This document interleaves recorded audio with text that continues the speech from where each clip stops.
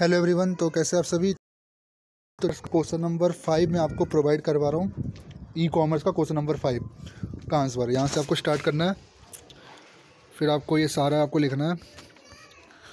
और चैनल को सब्सक्राइब कर लेना है आपको। ये सारा आपको ई कॉमर्स का क्वेश्चन नंबर फाइव का आंसर ठीक है? उसके बाद फिर यहाँ से आपको स्टार्ट करना है। ठीक है? ये आपका यहाँ तक हो गया। Thank you so much